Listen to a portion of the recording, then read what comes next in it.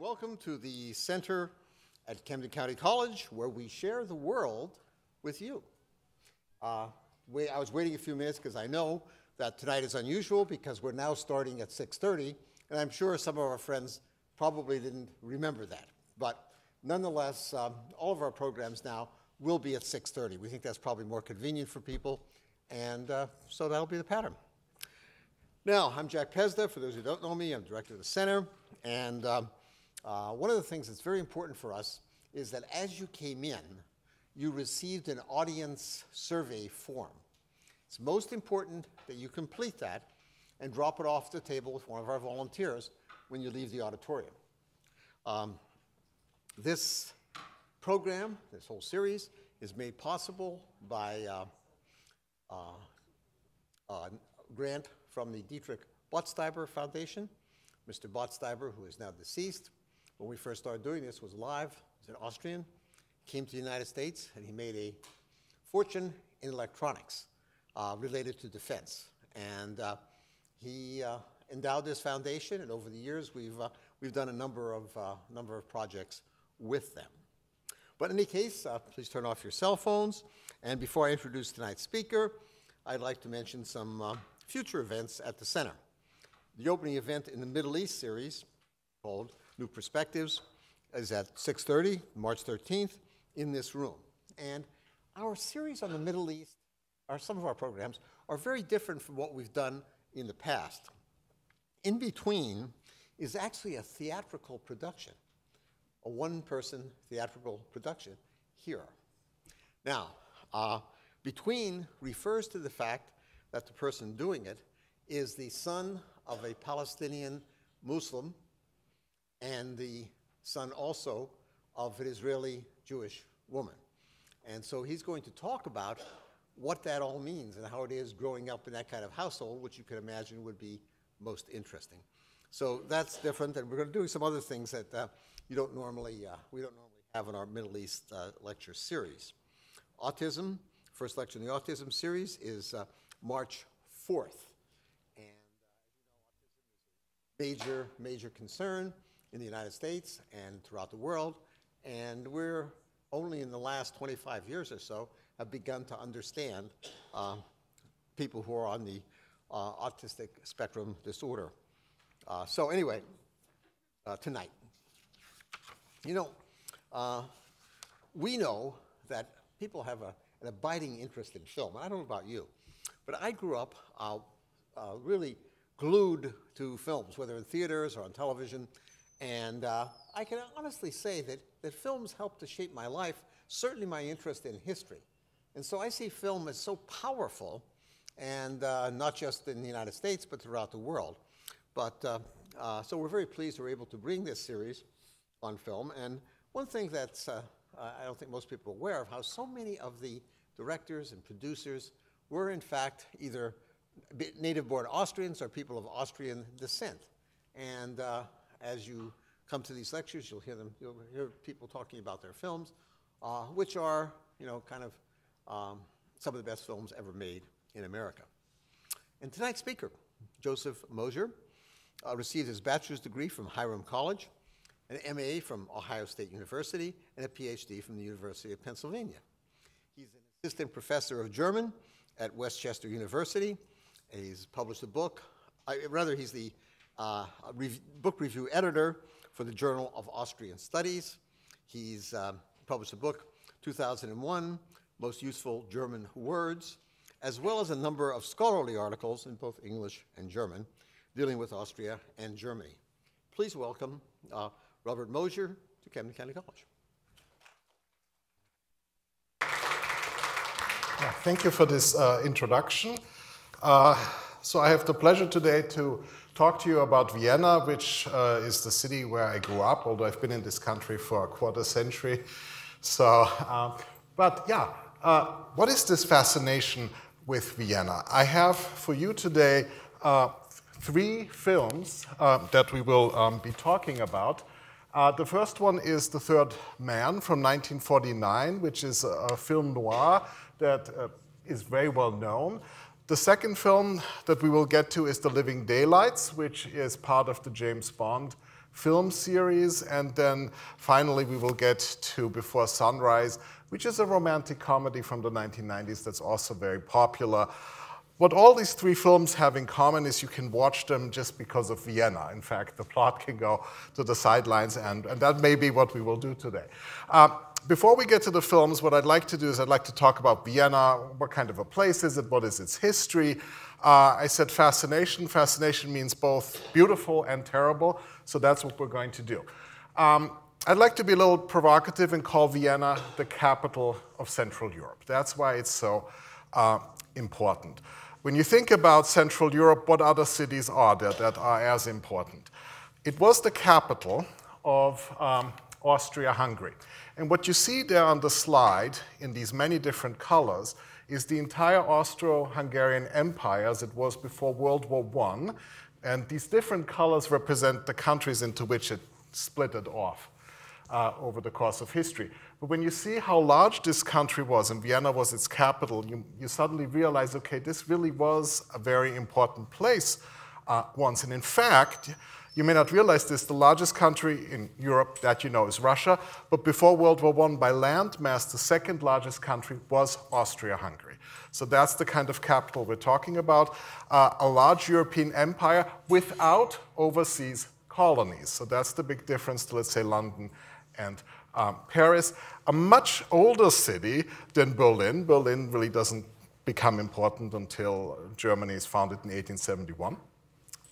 Um, but it is, although it's an old city, um, what you see when you go to Vienna today is not an old city, but a 19th century reconstruction of a city, much like Paris. So let me talk a little bit about what you see in Vienna. Vienna was totally rebuilt in the mid 19th century because what you see here is the medieval, well, blueprint, uh, city wall. Uh, the emperor basically Franz Josef, when he became emperor in 1848, his big project was Vienna needs to expand, the walls have to go. The medieval city was dysfunctional, there wasn't enough room, the buildings were too small, uh, infrastructure was terrible. So basically, the city wall that you see here on very early uh, photos um, was completely demolished, except for a small part that I will show you. And the city was rebuilt in a very grand manner. And that, of course, makes for a grand capital. Uh, in many respects, when I visit Washington, D.C., it reminds me of Vienna because Washington, D.C. was also built from scratch as a grand city modeled on Paris. And Paris itself was also rebuilt um, in the 19th century. So what you see over here, this one picture, that's all that's left of the city wall, and it's something you won't find unless you actually look for it. Um, in Vienna. And then below you see a picture from the turn of the 20th century where the city wall is gone and you have the grand buildings. You see here the parliament and, and the theater. And the city wall was replaced with the Ringstrasse, the Ring Street.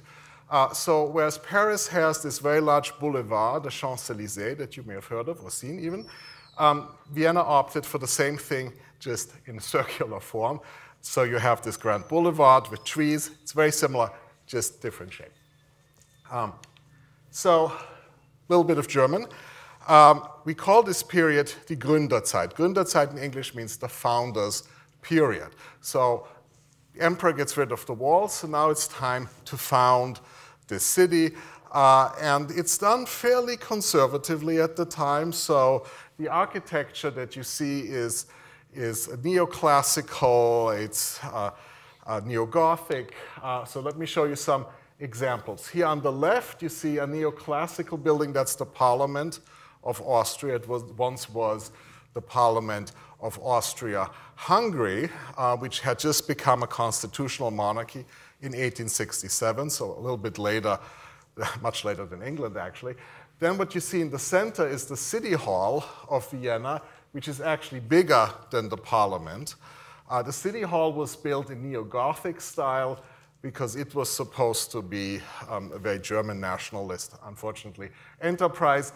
The parliament was neo-Grecian because Greek, uh, Greece was associated with democracy at the time. And then below here, you see the Burgtheater, which is actually the most important German language theater, which is not in Germany, but it's in Austria. So uh, that's very important to note. All of these three buildings are on the Ringstraße and are very often featured in films that deal with Vienna because that's where people want to go um, to be seen. So, uh, but that's not the only thing that Vienna is known for. Vienna has amazing architecture. This is the more conservative kind of uh, the, the, planned architecture. Um, there's also Art Nouveau, and we'll get to that in just um, a second. So then here you see on my slide uh, Art Nouveau, which in German we call Jugendstil. This is something that the emperor, who by the turn of the 20th century was getting old, didn't like that much. It was a younger generation that, that created this modern architecture. Uh, but despite some of the economic crises in the late 19th century, it's something that was also created. And you see here some very beautiful examples of uh, Art Nouveau. Uh, you see here Karlsplatz, that's a, a subway station. Uh, it's very similar to the, the, the, decorative subway stations you have at the metro in Paris. Uh, then here, very famously, you see the main uh, postal savings bank. It's very different from, from these classical buildings and neo-Gothic buildings. It's a very modern building, but also very elaborate. Then you see the, the church at Steinhof. And uh, of course, it was not only not only was there new architecture, but the rivers were regulated. And, and you see here a gate for the, the Danube Canal that was created. And the Danube, interestingly enough, that is associated with Vienna, think about Johann Strauss and the Blue Danube, actually doesn't go through the center of Vienna. It was regulated, it goes through the outskirts at the time, and only the Danube Canal goes through um, Vienna. So lots of changes that happen. So the city we see in film on Vienna isn't, it's not a medieval city. This isn't something you know, that you might find in, in Italy. Uh, it's, it's, it's a new city. Um, okay. So then let me talk a little bit about um, the 20th century. Uh, because before we get to The Third Man, which is a film that plays right at, after World War II, uh, Vienna and Austria went through a lot of trouble. So certainly one of the biggest issues was that uh, Vienna was annexed by the Nazis in 1938, and it, it, was an annexation, but unfortunately one that the large majority of Austrians welcomed, unless they were Jewish. Um, and Austria, at, after it collapsed as a monarchy in 1918, had a brief democratic period, much like Germany, but by 1934 became fascist, at that point modeled on Italian fascism because Mussolini wanted Austria as a buffer to Nazi Germany. That was good for the Jews because they weren't persecuted yet. But then in 1938, this comes to um, Austria. And so Vienna is also a place where uh, the Holocaust played, uh, unfortunately, a very big role because Austria, which has a tenth of the population of Germany, had as many Jews as Germany did. So when they fell under Nazi control, this was a tremendous tragedy um, as well. Uh, the Jews in Austria-Hungary uh, had a lot of, uh, um, well, benefits in the 19th century when they got equal rights. You mustn't forget that Austria-Hungary went very, very far into Eastern Europe. Uh, Russia was not as good a place, so there was a lot of movement out of Russia into Austria-Hungary. Uh, and at the same time, of course, so then there's German nationalism in Austria, which causes all kinds of problems. And, and so this is something that has shaped the identity of Austria and Vienna um, to this um, day. Uh, here you will see some pictures of synagogues in Vienna and in Austria. The only synagogue that survived is the, the center is the Stadttempel, is the, in the center of the city, and that's the picture in the bottom. Um, there once were 28 synagogues, all of which were destroyed in the Night of Broken Glass on November uh, 9th, 1938. So this is, this is just something to keep in mind. When we get to these films that play in the post-war period, a lot of terrible things happened in Vienna. We don't even have to get to the war yet. A lot of terrible things happened there. Uh, Vienna was also known for its anti-Semitism.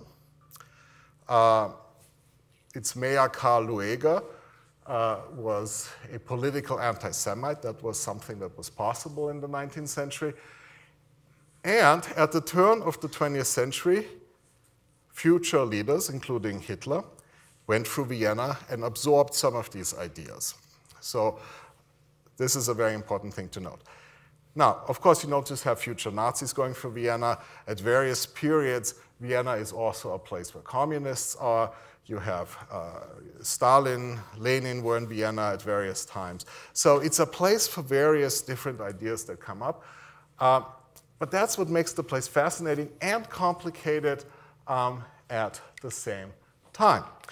And uh, the Holocaust in Austria, uh, well, you had before the Holocaust 167,000 Jews, uh, two thirds of whom managed to survive. Uh, another third was murdered because they couldn't get out in time. So people who survived generally managed to get out before World War uh, II started or in, in, in the following uh, months. And after World War II, there were roughly only 7,000 Jews left um, in Austria. And this is something that's not talked about in the third man, but it's there in the background. You have, and, and I'll talk about this when we get to the film. So it's, it's just there's a lot of terrible things happen there. And then after World War II, things become very, very calm. And we'll have to talk about that too. Sorry? Yeah. There was a new Jewish uh, synagogue recently discovered in Vienna. What was that? I was in Vienna and they were. There, there, there's uh, um, Judenplatz, the, the, the, the medieval synagogue that was discovered, yeah, Judenplatz. Yes, yes, that was recently turned into a, a, a memorial, yeah. And second, wasn't Luther more influential on Hitler and the rest than the people you said? That's, that's perhaps a little bit, a little bit off topic. Uh, so then after World War II, uh, just very quickly, uh, now moving towards our first film, uh, Germany was divided by the four Allied powers, and this is something that you might know already. Uh, it eventually led to the partition of Germany into East um, and West Germany. Uh, but what you may not realize, or you may realize, is that Austria was also um, divided into these Allied zones, and I'm, I'm, now working towards our first film, The Third Man. Um, you had basically in the east, what looks a little bit orange or red here, there was the Soviet zone, which then connected to Czechoslovakia and Hungary. In the south, you had the British zone. Then in, in the center, the American zone, which connected to the American zone in Germany. And in the west, you had the French zone, which connected into the French zone, also in Germany. What was different from Berlin, and this is a very, very important difference, is that the center of Vienna was actually administered by all four Allied powers. So the situation is very different. You can't actually separate the Allies into their own sectors. In the first district, in the center of Vienna, uh, when the military police came, you had to have four MPs come. They had to be a Soviet MP, an American, a British, and a French MP. They could never work on their own. So here's a problem in the Cold War. You can't actually ever conceive of having a wall or separation. They have to work with each other. And when Austria becomes neutral in 1955, there's probably two reasons for it. The first one is Khrushchev being able to do that at that point because there's a little bit of thawing going on in the Soviet Union. But frankly, the Americans also want out of the deal because Vienna is the last place in that time period where the Americans have to talk to the Soviets every day. They have to communicate, and, and perhaps that would have been a good thing, but that's something that was unique. And so, unlike Berlin, there was really no separating this. But that comes after the film that we will talk about. Um, so here you see a picture from 1955. That was the last year that you had this military police uh, cooperation. Um, and yeah, let's talk about Austria after the war. So it was divided in four Allied zones. Um, Austria was recreated without the Austrians realizing it in 1943 the Allies met in Moscow and decided Austria would be a country again, uh, largely because it would make Germany smaller. Um, very few Austrians, unless, unless you listened to the BBC or some foreign radio, you didn't know that was going to happen. Um, however, in 1945, at the end of the war, Austrians discovered that was actually pretty convenient because Germany could be blamed for everything and Austria could simply emerge as, as something very different. Um, so Austria was only occupied by the Allies for 10 years, became neutral then, uh, and, and did its own thing. And we'll talk about that when we get to the, the James Bond film that I'm going to talk about. So um, here we go. Let's talk about The Third Man. The Third Man from 1949, this is before anybody can conceive of, of, of, of um, the Allies leaving Vienna. In fact, um, this is set in a city that is dealing with uh, its post war situation, so to speak. So it's a city in which there are black markets. Uh, in fact, actually, if uh, you couldn't really go to Vienna as a tourist in those days, as an American. Um, if you arrived at the American airfield, there were signs in English that said, Beware of the natives. And that was, yeah, because they, there was the suggestion that, that, that local Austrians might rob you because, you know, they, they'd want your stuff. So that's, um, and when I was in graduate school and I took a history class, I, I, the professor told us World War I and World War II, if you look at the relationship between Austria and the United States, it's really, this is, these are two kind of unusual moments because already by the 1950s, Vienna rebounds and becomes a tourist center and, and, and fairly prosperous, actually. But so this is really a, a strange moment where this grand city uh, is um, in rubbles, except, except, except, except, although you will see some destruction in this film, compared to other cities in Central Europe, Vienna wasn't even that terribly destroyed, okay? Uh, and then you might wonder, why is that? Well, if you look at a map, you see that Vienna is pretty far east, Central Europe. So the, the Allies couldn't bomb Vienna out of England. But they could, but they couldn't really do it effectively uh, because you'd have to fly very long and then fly back. So most of the destruction in Germany is in the northwest. So Vienna started seeing some destruction from air raids in, in late 1943, primarily flights out of Italy after the Americans had landed in Italy. And uh, most of the war damage came actually from fighting in 1945 when the Red Army uh, came in and there was fighting house from one house to um, the other. Okay, so let's take a look at some of the actors uh, in The Third Man. And what you will see here is a cast that appeals both to an English speaking audience and a cast that appeals to German speaking audience. Many of you will immediately recognize Orson Welles, uh, and you'll probably recognize um, Joseph Cotten from American film, right? Uh, and and that, that was the idea, right? You make a film with a great cast that, that English and American audiences immediately are drawn to. Uh, then you have for the Austrians, Paul Hörbiger was vastly more interesting. They, they didn't know who these, these Americans and Brits were. And then you have Alida Valli, who's an Italian actress uh, who's kind of new.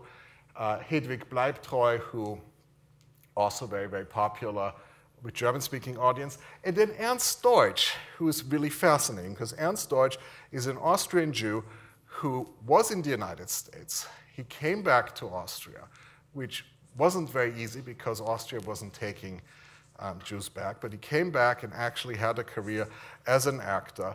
Uh, and he actually was the only um, Austrian actor in the film who could speak English very fluently. Why? Because he had been in the United States.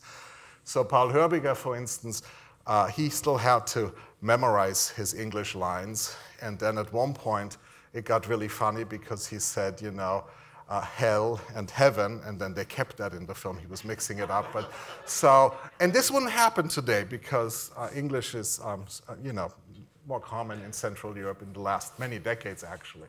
So this is a film noir. It's it's it's uh, part of this genre of, of, of black and white films after the war that are very dark and gloomy, and there's crime, and the crime is all about. Um, it's about the black market and a new drug that is very important, penicillin, right? It's the first antibiotic. and which really made a humongous difference because you could, you could cure things that, that beforehand you, know, you would just die from. But because it was rationed, there was a black market and there were people who were thinning penicillin. If you thin penicillin, it, it doesn't, it's not effective, and then people die despite thinking that they're getting the treatments. And so that's, that's one of the main plots here. Uh, Orson Welles, who plays Harry Lime, he's the bad guy who's involved in this, this kind of ring. And then Joseph Cotten, who plays Holly Martins, is the naive American uh, fiction writer who shows up in Vienna because he doesn't know what else to do with himself afterward. It, it, that's a little bit strange as a plot. Uh, and, and the British keep trying to get him out of there and say, you have to leave, you can't be here. So, so that's really the setting. What I want to show you is um, a part of the third man, actually a two and a half minute long clip that is set in Vienna's amusement park. Uh, Uh, to your left, you see a picture of the Riesenrad, the big Ferris wheel that London plagiarized about 20 years ago when they came up with the London Eye. It's the fake thing. The real thing is in Vienna. It's an Eiffel Tower that turns, right? So much as we have, you know, Paris has the Champs-Élysées and the Eiffel Tower, and we do things in circles. But then you see here, that's what it looked like right at the end of World War II. By the time we get to the film, in, which was done in 1948, it's operational again, okay?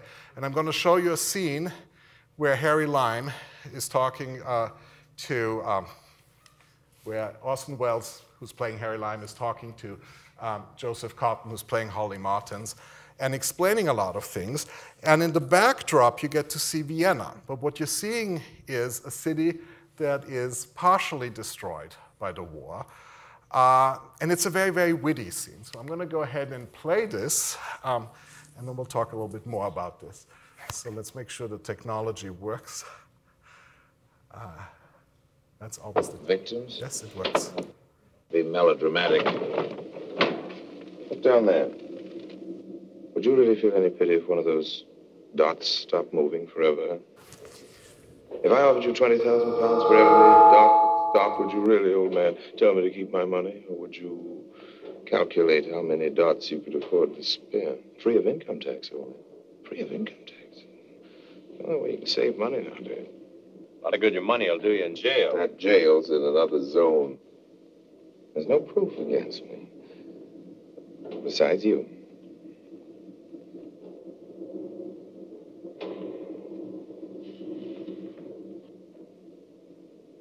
I should be pretty easy to get rid of. Pretty easy. Wouldn't be too sure. I carry a gun. Don't think they'd look for a bullet wound after you hit that ground. Dug up your coffin. And found Harbin?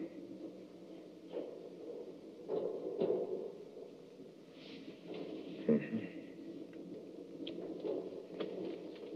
Pity. Holly, what fools we are eh, talking to each other this way, as though I'd do anything to you. Or you to me. You're just a little mixed up about things in general. Nobody thinks in terms of human beings. Governments don't. Why should we? They talk about the people and the proletariat. I talk about the suckers and the mugs. It's the same thing. They have their five year plans. So have I. Used to believe in God. Well, I still do believe in God, only. I believe in God and mercy and all that, but the dead are happier dead. They don't miss much here, poor devils. What do you believe in? Oh, if you ever get Anna out of this mess, be kind to her. You'll find she's worth it. I wish I'd asked you to bring me some of these tablets from home. Holly, I'd like to cut you in, old man. Nobody left in Vienna I can really trust, and we've always done everything together. When you make up your mind, send me a message. I'll meet you any place, any time. And when we do meet, old man, it's you I want to see, not the police. Remember that, won't you? Don't be so gloomy. After all, it's not that awful.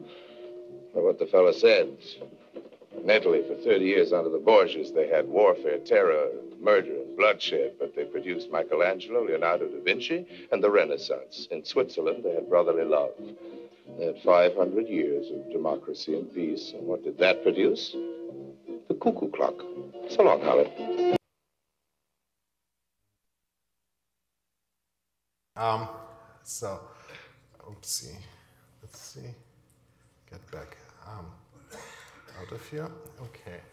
Uh, yeah, so basically you see how um, uh, Orson Welles' character, oops, I don't know why I'm so loud suddenly, um, how his character makes fun of, of places that don't have uh, all these struggles. And, and that's what I said earlier. Vienna is both a, a beautiful place, but it's also a very troubled place in its history.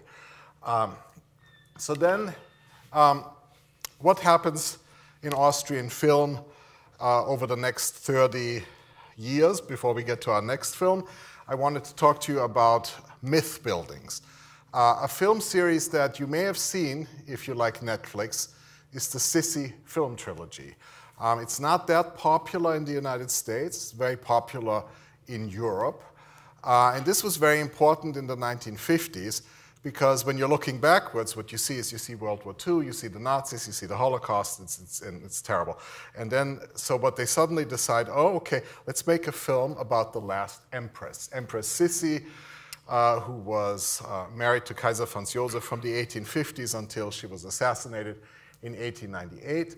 Um, and so these were glamorous films about the empress and, and Sissi. And a large portion of tourism in Vienna today deals with trying to hark back to the monarchy.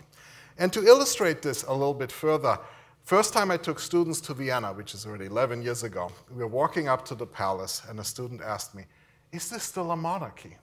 And I was like, Oh my God, what did I do wrong? Well, no, because Austria would make you believe that it still is a monarchy. It's still just a fairy tale place. Uh, and, and, you, and so it's, it's this kind of selective memory, right? Uh, because it is, these, these people really did exist, this monarchy existed, um, but it's kind of perceived stronger than other things, and, and for good reasons, because there's some, some pretty awful things you could be remembering. Um, so it's less popular in the English speaking world, but it does exist. Uh, and so that's something that Austrians really associate with their history in their film. They think about the Sissi films, they think about, um, about the emperor, and, and they're actually surprised when American tourists don't immediately pick up on Sissi, right? So if you go to the palace, you can get a Sissi ticket, and they don't see that that's kind of funny in English, but they, because they think, oh, look, you want to see our empress. So that's what Austrians and, and Central Europeans see. This is what you see when you think of Austria. Now, it doesn't deal with Vienna, but I have to mention it because you must be thinking about it already. Uh, the sound of music is exactly the inverse to Austrians, uh, right? I mean, Americans love the film. Music is great. When I take students to Salzburg, there's always several people who want to start singing, and I let them, why not? They're happy. Um, when I came to the United States, people started saying sound of music, and I kept thinking, why do they keep saying sound of music? Which sound of, what, what, is the sound? And then I realized it was a film, and I had to find that VHS, and then I was very disappointed because it's two and a half hours and it doesn't end. Uh, and you know, Austrians don't like the film, except it's actually an amazing gift, right? Because it, it, it again builds this myth of the bad Germans, the good Austrians right? Uh, it, it, does paint Austria in a very, very positive light. It, certainly has brought a lot of tourists to Salzburg. Um, and I guess this is how you see the power of film. And you can essentially design whatever myth you like, right? We just talked about Sissi being the myth that Austrians and Central Europeans like, and then the sound of music uh, is another way of looking at Central Europe uh, and, and, and, and, and seeing something that you want to see. Okay? So we were talking about the third man. That was during the Allied occupation. In 1955, Austria becomes neutral. And it's a very unusual situation. When you look at the center of Europe, there are essentially two neutral countries. There's Switzerland, but Switzerland has been neutral in the two world wars, so that's pretty established. Austria is neutral essentially because the Allies can't decide should it be on the west, should it be on the eastern side, so they decide we both withdraw. Uh, neutrality when I was growing up was uh, you know, not a very safe thing because if the East and the West had started a war, the Soviets would have been in Vienna within an hour. Um, there was no plan to defend Vienna. The Americans were poised on the German border. They were also ready to come back. Of course, it never came to that. Um, the benefits of neutrality, well, Austria could play both sides. So uh, there were contacts to East Germany, contacts to West Germany, and at the same time, it was also a little bit slower in developing um, economically. Why? Because it couldn't fully participate in Western uh, associations. It was not a part of the European community. It wasn't a part of NATO. And at the same time, of course, it didn't want to necessarily get too close to the Soviet sector, wasn't allowed to either. So, you know, it, it did its own thing. Um, one of the things that Austrians very quickly realized, one of the benefits of the Cold War, is that it was a great meeting place, right?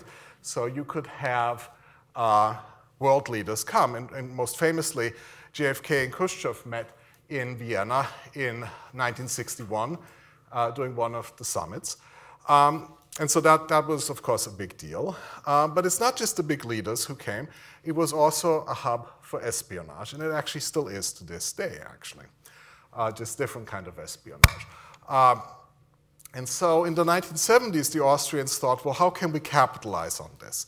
And so Austria built a headquarters for the United Nations. You know, the United Nations are headquartered in New York and Geneva, and they have an office in Vienna as well um, that Austria built for the United Nations. They charged them a rent of one shilling, which was about 10 cents a year.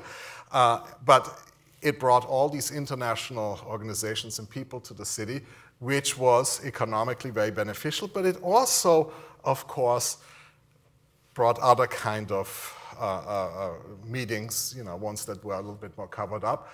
So when we get to James Bond now, uh, Vienna is this neutral ground where Soviets and the Americans and, and lots of other people can meet and talk officially and um, unofficially. So let's see. Oh, and before we get to that, at the same time, Vienna is becoming a center for tourism, right? Uh, and tourism is one of Austria's big, big uh, economic uh, uh, you know, ways of making money. Uh, so while in the third man, you know, when Holly Martins comes and as an American and he wants to get a job there and hang out, it's all very strange. By the time we get to the living daylights, and certainly with before sunrise, tourism plays a big, big role um, with um, Vienna. Okay, so um, the living daylights, 1987. If you like James Bond films, you may not like this film because you may not like Timothy Dalton. Uh, every time I go on the internet, people are, you know, debating who they like best as a James Bond, and Timothy Dalton always comes out as, as the least popular one. Uh, this is my favorite James Bond film. Why? Because it is in Vienna. And uh, it really combines uh, a sightseeing tour of the city as much as it, it, it is a regular James Bond film with all these, these um, kind of thrilling moments. Uh, I'm going to show you a clip where you get to see um, basically uh, how the city is depicted. What I'm not going to show you, but I want to share with you, is that um, the, the film plays in Vienna. It also plays in Bratislava, which is now the capital of Slovakia, but once was in communist Czechoslovakia. They couldn't film in Bratislava. So they filmed the Bratislava scenes in Vienna as well. So you have both the glamorous Vienna, and then they went to more average neighborhoods and made them look even more drab than they were, and then put a few communist stars up. And then they found the oldest trolley cars that were still running and beat them up even more and pretended it was the communist bloc. And that was really funny um, to me as a 13 year old to watch that because I could, uh, this is not Bratislava, and like, wow, we really can look like the Soviet bloc too, if you want to. Um, so, but I won't get into that. Um, we're going to focus on the beautiful parts of Vienna uh, that you will see. You'll see the Riesenrad again, which plays a big, big role in this film as well. So we're going to go take a look at this clip. Um, oh, before I start with that, of course, I, I mentioned Timothy Dalton plays James Bond.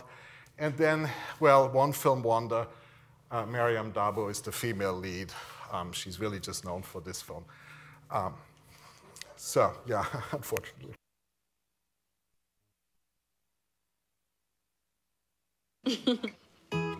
Five thousand years of Chinese music and dance in one night.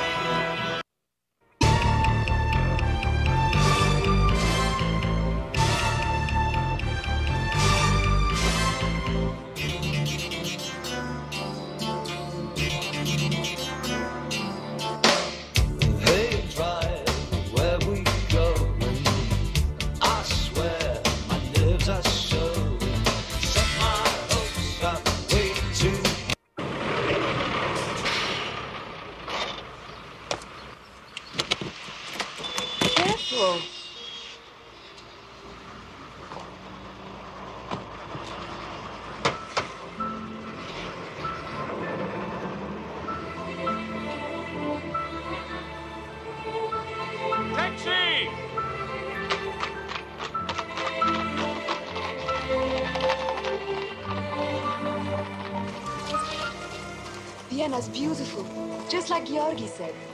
You care for him a great deal, don't you? I owe him everything. My scholarship at the Conservatoire, my Strad, Your cello's a Stradivarius. a famous one, the Lady Rose. Georgi got it in New York. Quite a present. Maybe someday I'll play there, at Carnegie Hall. Georgi believes I can do it. I'm sure he's right. We go to him now? Yeah, unless he had to move on. If he did, I'm sure he left a message.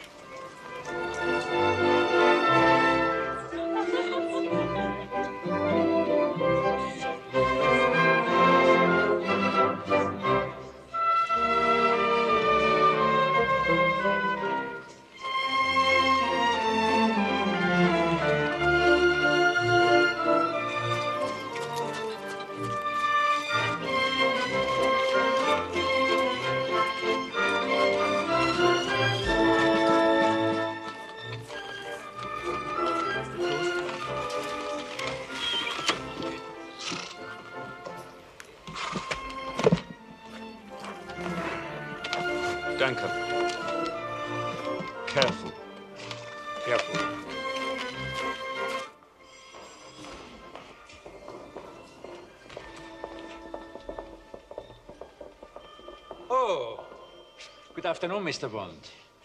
You will need your usual suite. Not tonight, Hans. Uh, something with a second bedroom. Yes, sir. Shall I have the vodka martini sent up? Shaken, not stirred. Of course.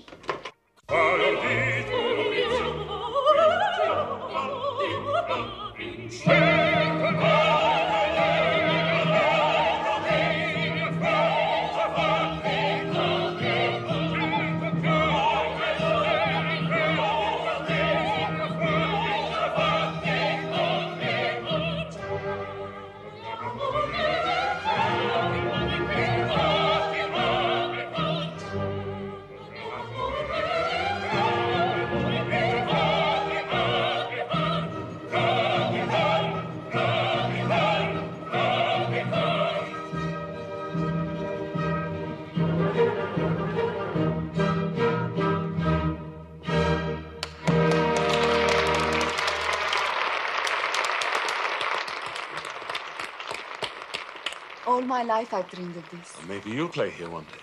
It's too much to hope for. Hmm. Excuse me for a few moments.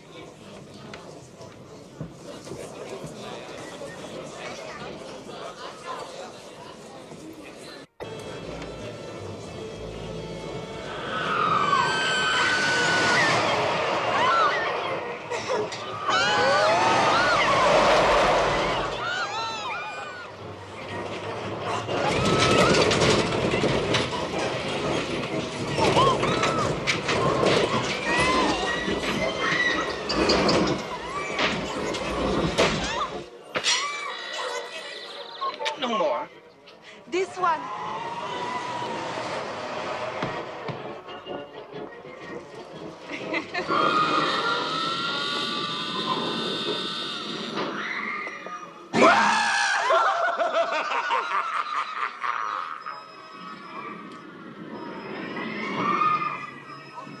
Take me on the wheel.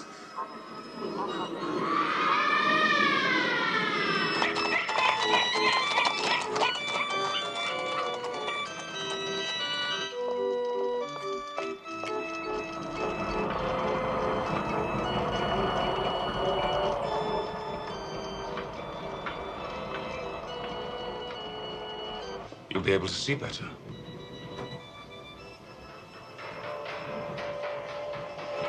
Ballon, mein Herr? Nein.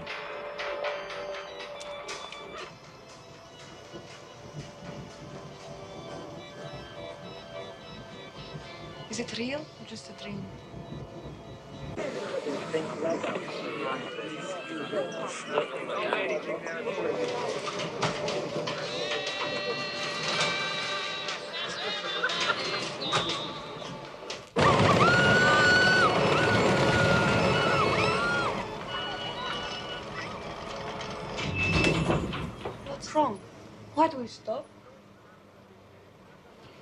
Arranged it. We could be here all night.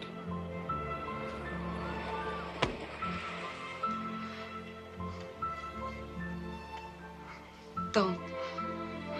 It's impossible. Knowing you only two days and all I can think of is how we would be together. Don't think. Just let it happen.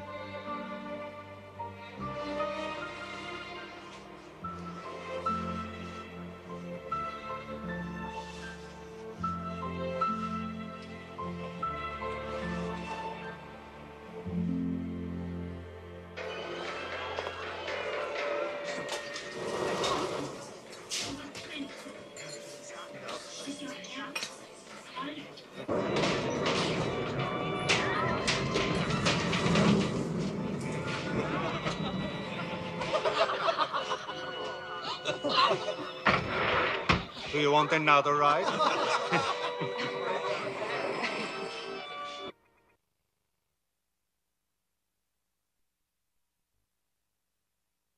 So we have uh, essentially a, um, let's see, Go back to that, yeah. So you can see there is something in film studies that they call homage. When um, the guy with the balloon comes and says, oh, Ballon, mein Herr, the exact same thing happens in The Third Man. So the film is definitely connecting viewers to The Third Man, which at that point is only about 40 years um, different, the film. Um, but the film's very different from The Third Man in the sense that, as I mentioned, Vienna is now a center of tourism. Uh, it's a little over the top because they, they drive up in a horse carriage at the Royal Palace, which is not a hotel, and then they check in and it makes it seem like you could do that. But, uh, but it's also already, it has this romance that you will then see in Before Sunrise, where Vienna is then essentially really just a center of tourism and a romantic place. Um, so that's kind of how this film fits into um, the context of these three films. Um, the Riesenrad, of course, plays uh, a, a very important role in, again, centering um, the film. Okay, so then we will continue to um, the final film that I wanted to talk about. That's Before Sunrise.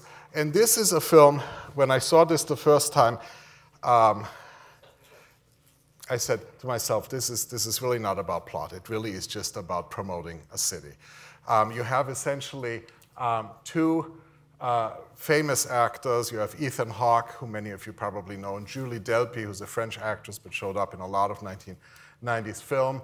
Um, it's, it's the film of two young people who essentially spend a day in Vienna. Uh, it has a sequel where they then go to Paris, so Vienna and Paris are suddenly on equal footings. Um, Vienna is no longer troubled by the Cold War. It's after the Cold War. It's not troubled by its post war period. It simply is just a beautiful place uh, where people um, can spend time. And it's a romantic comedy. And uh, uh, I'm not sure why people like it. It was actually relatively popular. I liked it because it's Vienna, right? Uh, and if you like Vienna, then you'll like it too. Um, but other than that, it isn't as strong a film. I will show you a much shorter clip of this um, that also has a very funny moment um, in it. So, um, and I think we're still doing fine for time. Um,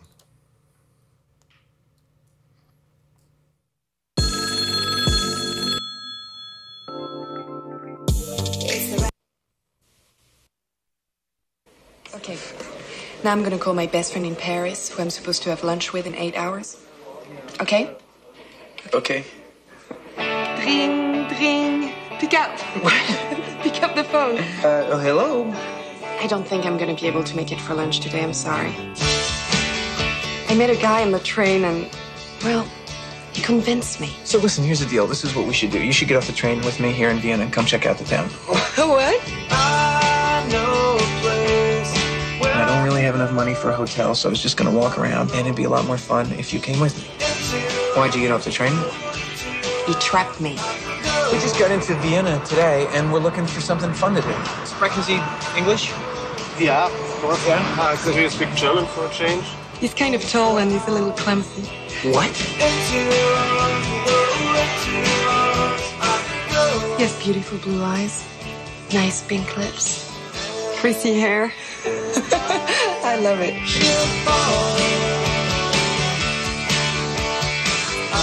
I like to feel his eyes on me when I look away. You couldn't possibly know why a night like this is so important to my life right now. But it is. I think he's crazy about you. Really? You gonna see him again? We haven't talked about that yet. Think tonight's it, huh? Tonight's our only night.